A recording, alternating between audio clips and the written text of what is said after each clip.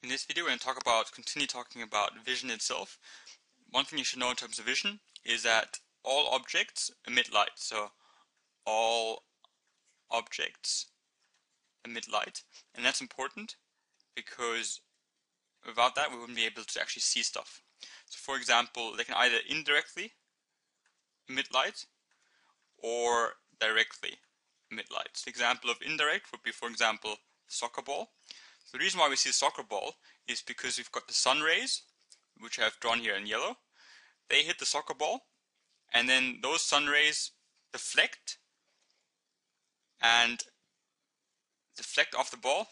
And I've got this different color for the deflected rays, and those rays will then go towards our actual eye.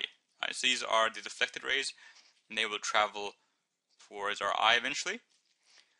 That's basically the indirect emission of light. So these are emitting light, they, they produce their light, but they get it from the sun by it being deflected.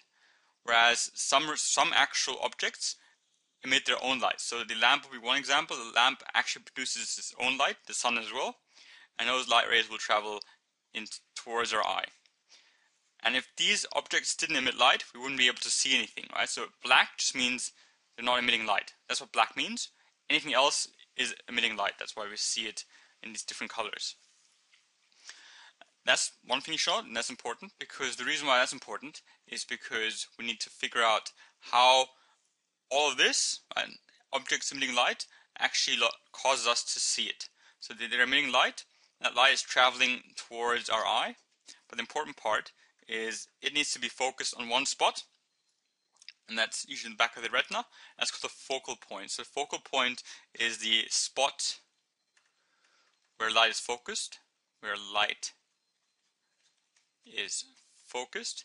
So what we're going to talk about in this video is we're going to talk about the first step in terms of how we can focus that light, how we can bend the light to hit that one spot.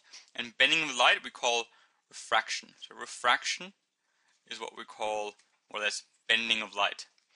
And that happens in our eye to make sure we hit that one spot, bending of light. So going to quickly just to cover this, all objects more or less emit light, either indirectly by reflecting the sun's ray or directly by producing their own light.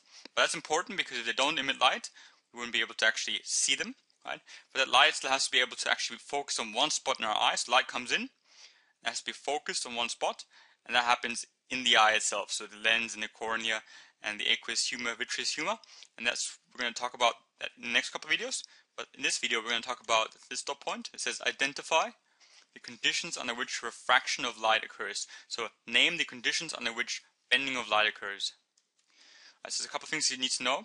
First of all, you need to know what density is. Density is just volume, uh, sorry, density is mass divided by volume. So what I mean by that, if for example we've got air, so we've got air here, volume means, means any given space, so I'll just take this random bit of volume that I'm going to look at, compare that to the volume in water, so the volume is the same in both those examples, but the mass is different. Why?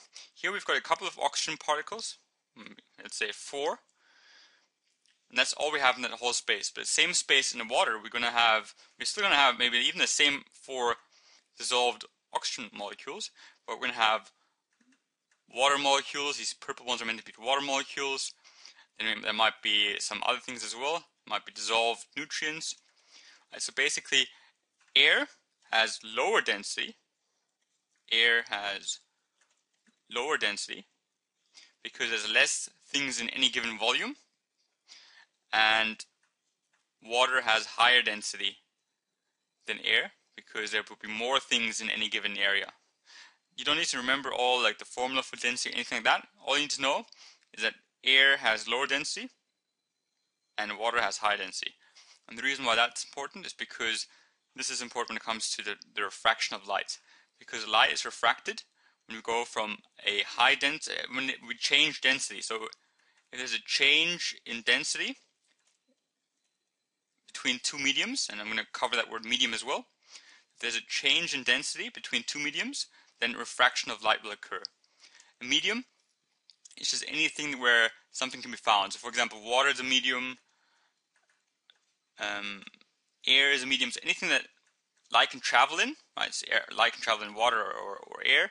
That's the medium. So that's what we're talking about when it comes to medium. So if there's a change in the medium, then there's a refraction of light. So what I mean by that is if light travels from the air and goes into the actual water, that's going from air to water, change in the medium, and those mediums have different density. Right? We said air has a low density and water has a high density.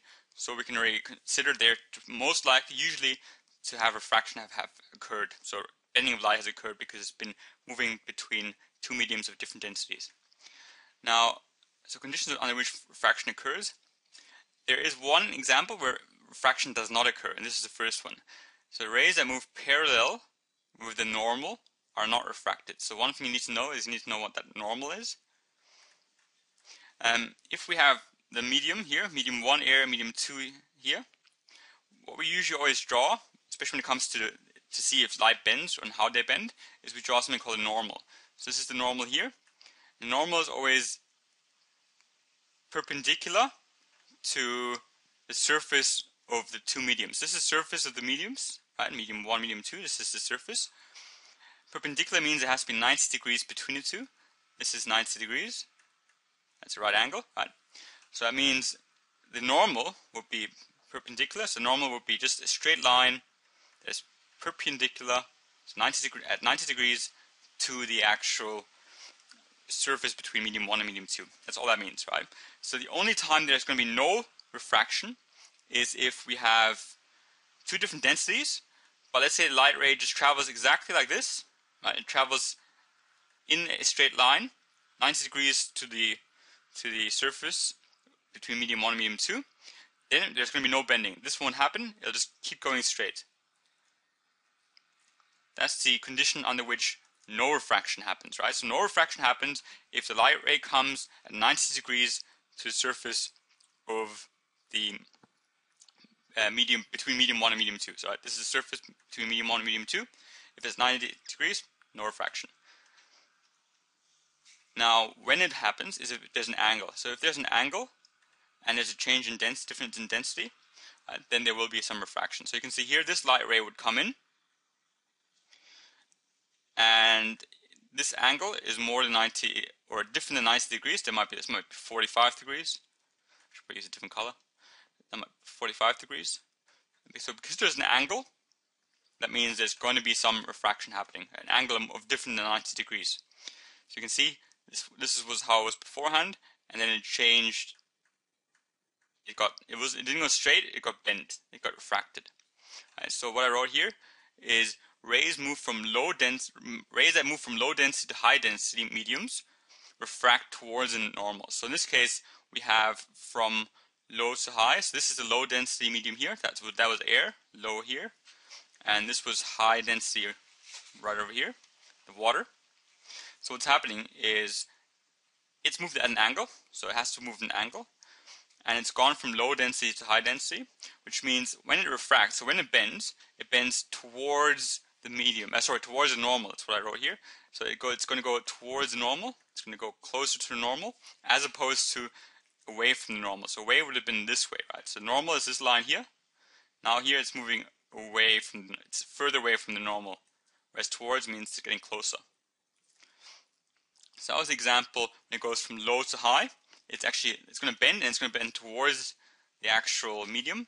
Whereas if rays travel from the from high to low density mediums, so for example, if it travels from water to air, then it's going to be refracting away from the normal, right? So I'm going to draw a line.